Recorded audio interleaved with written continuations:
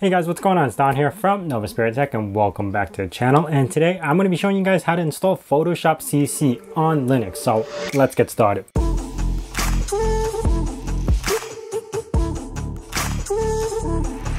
One of my most favorite applications to use in Windows is Photoshop and I kind of miss it on my Linux laptop. I do a lot of video editing and photo editing as well on my Linux laptop. In the past, you guys seen videos of me installing Microsoft Office onto Linux laptops as well as various other applications. Now, one of the applications that I miss the most is Photoshop. Now, I gotta say, even though I have GIMP and a few other tools on here to edit photos, Photoshop just has all the tools that I need and I'm so familiar with it that I rather prefer that a lot of the image editors that come available to Linux. What we're going to be doing today is using a script to install Photoshop CC 19 onto our Linux laptop and it's going to run everything in the background to get everything working for Linux. So now I will have everything we talk about linked down in the description below. Now let's begin.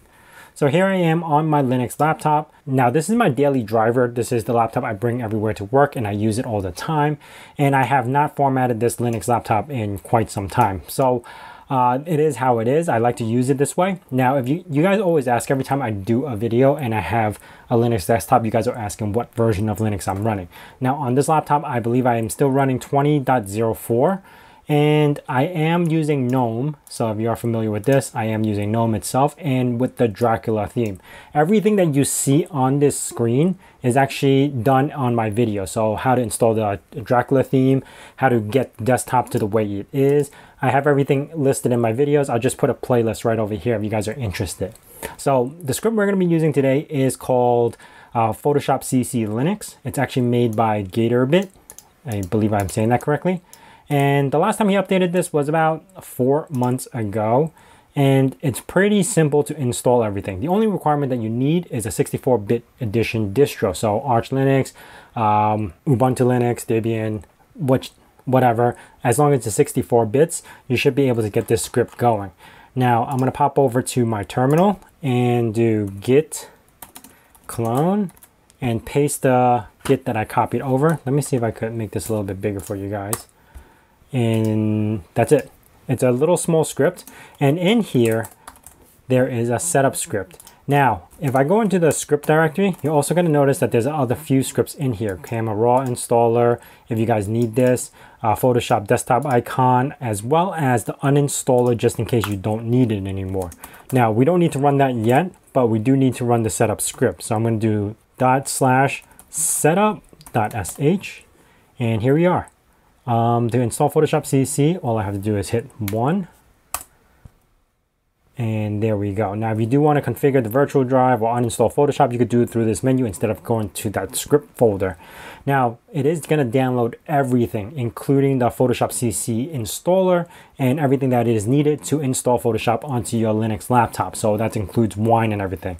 Now, the first thing they are going to do is start to install Wine into a particular directory and it will also have uh, Gecko and I, I forgot the other thing that needs to be installed, Mono. Now, once you get to this menu, just leave everything as default. If you do want to add some drives in here, you can, but for now, just leave everything as default. Hit OK, and it's going to continue the installation. At this point, it's just going to start downloading everything and give it about 10 to 15 minutes, depending on your internet connection. You should have everything installed soon. So Right now it's running through Winetricks. I believe if it doesn't have it available, it will install Winetricks for you. But if it, I mean, if it, it doesn't do that, you could just install Winetricks yourself. Now, all we're doing right now is just waiting for this to finish downloading. I think it's about 900 megs.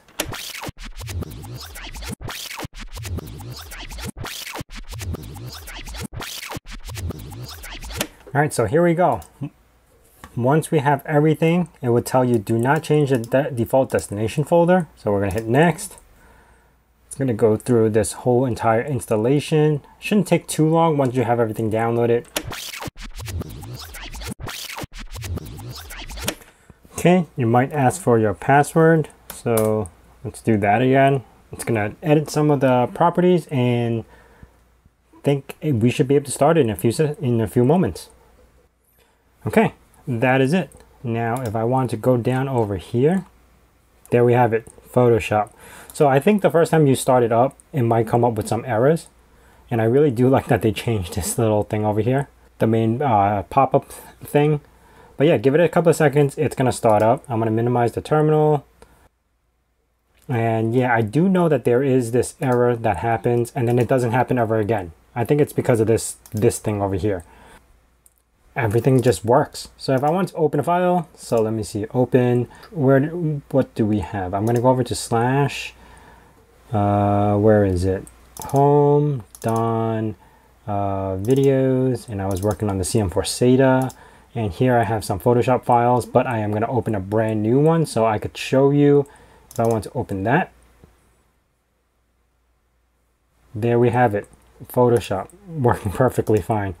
And I can move the photos around pretty smooth. If I want to change the exposure, let me see. Uh, I think it's right here. Exposure, let's brighten this little thing up.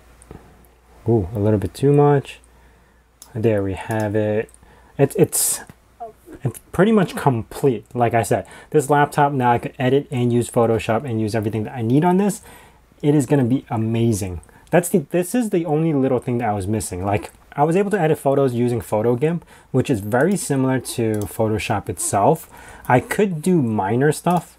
So if I open up PhotoGimp, and I did a video on this before, like this is uh, Adobe Photoshop alternative. PhotoGimp is GIMP, but they uh, made all the shortcuts and everything to work like Photoshop. So the color theme is almost similar. And if I was to use all these tools and the shortcut keys are very similar to Photoshop. So I was just pretty familiar with using this, but there were some things that I couldn't do that I wish it was much easier to do in Photo GIMP, but it was like you could do in Photoshop with just one click.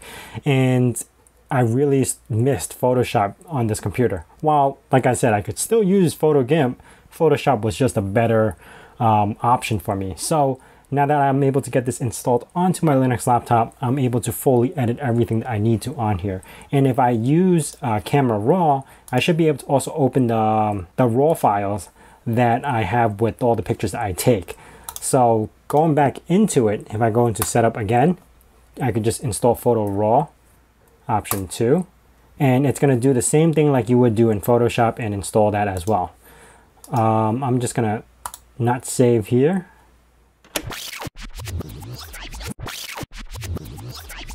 Hit install. And that is it. I should have camera raw in here too. Uh, I wonder if it's a separate application or can I just open Photoshop to use it? Oh, it is here. Camera raw filter. So if I open, um, let's see, open, let's see if I could just open a raw file.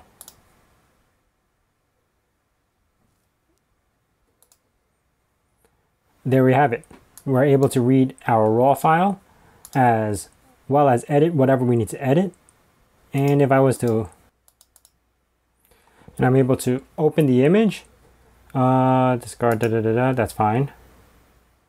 There we have it. I open the raw image in here, go into view. If I want to get back into camera raw settings, I could just go right back into the camera raw filter. There we have it. Uh, yeah, that's pretty impressive. Not only am I able to use RAW now, also use Photoshop, do everything that I need to do.